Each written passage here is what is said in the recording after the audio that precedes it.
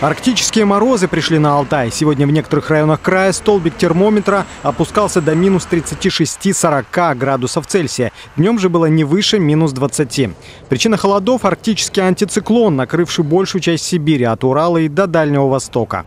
В ближайшие дни ожидаются морозы до минус 30 днем и минус 40 ночью. На дорогах местами возможен гололед. Как нам рассказали в региональном МЧС, все службы находятся в режиме повышенной готовности. При необходимости на междугородних трассах будут будут открыты пункты обогрева для водителей. По прогнозам синоптиков, экстремальные температуры продержатся в крае как минимум ближайшие пять дней, в течение которых водителям и пешеходам рекомендуют воздерживаться от дальних поездок.